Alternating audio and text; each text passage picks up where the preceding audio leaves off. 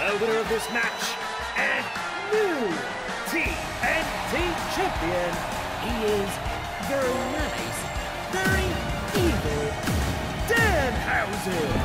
What a tremendous match.